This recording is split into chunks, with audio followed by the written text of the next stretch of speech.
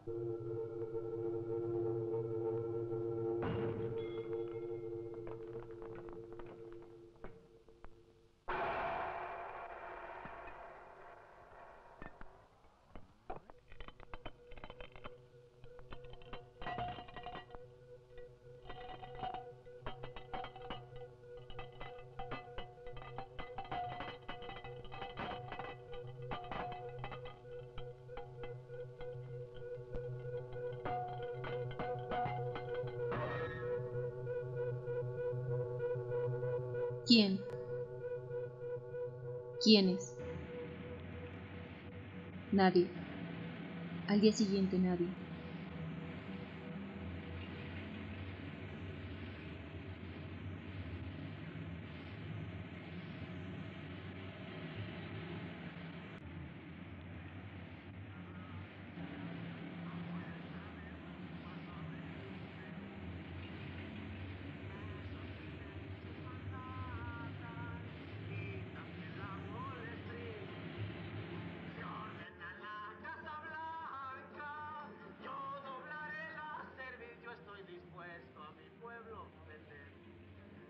que me dejen dólares ver.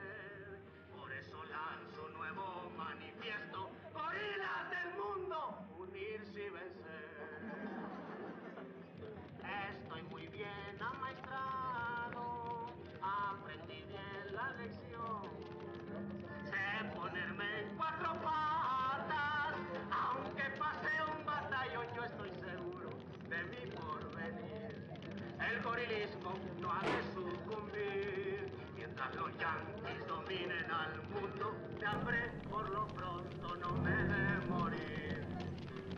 Si tu extranjero no quieres mi verdad reconocer, pregúntale a Mr. Johnson, él te habrá de convencer, soy un gorila. Nadie sabe el número exacto de los muertos, ni siquiera los asesinos ni siquiera el criminal.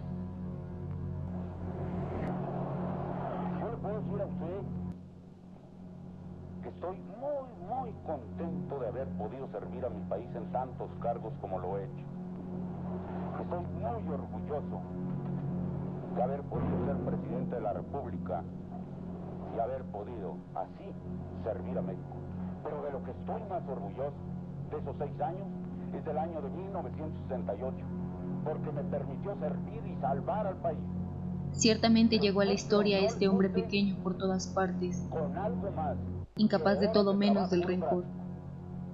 Poniéndolo todo. Vida, integridad física, horas, peligros, la vida de mi familia, mi honor y el paso de mi nombre a la historia. Todo se puso en la balanza. Afortunadamente salimos adelante. Y si no ha sido por eso, usted no tendría la oportunidad, muchachito, de estar aquí preguntando. Habría que lavar no solo el piso, la memoria. Habría que quitarle los ojos a los que vimos. Asesinar también a los deudos. Que nadie llore, que no haya más testigos.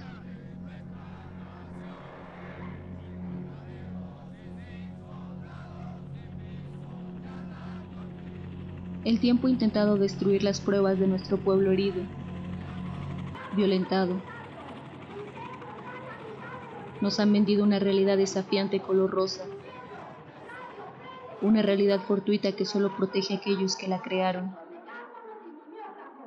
Somos el resultado de una sociedad alienada generaciones antes de siquiera existir. Nuestro pensar fue moldeado para la sobrevivencia, no para la empatía.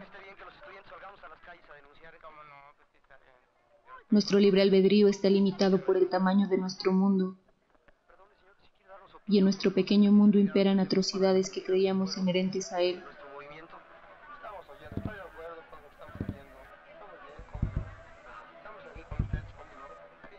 Así, cerramos los ojos a conciencia, reclamando en mente los preceptos indicados para justificar nuestra falta de interés,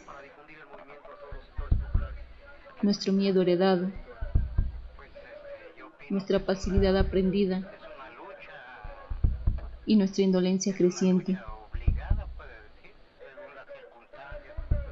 Somos una sociedad que justifica paz disfrazada de crueldad,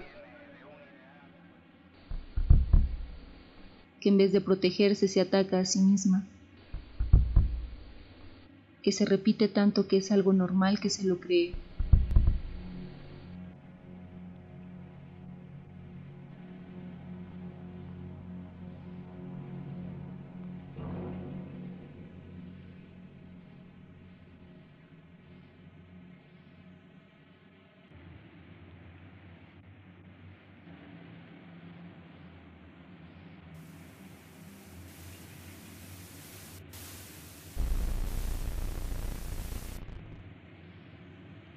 A ustedes a ocupar su lugar para escuchar el mensaje del presidente de los Estados Unidos mexicanos, licenciado Enrique Peña Nieto. México sufrió uno de los ataques más cobardes y crueles del crimen organizado. Los actos inhumanos y de barbarie ocurridos el 26 y 27 de septiembre en Iguala Guerrero han conmocionado a toda la nación.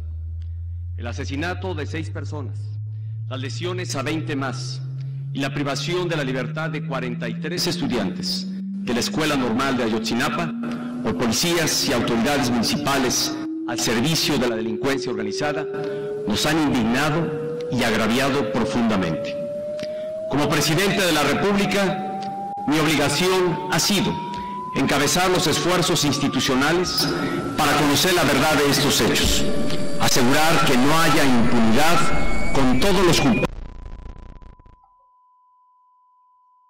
Recuerdo, recordamos.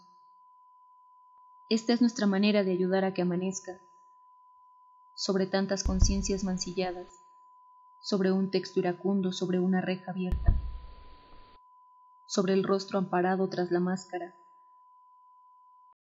Recuerdo, recordemos, hasta que la justicia se siente entre nosotros.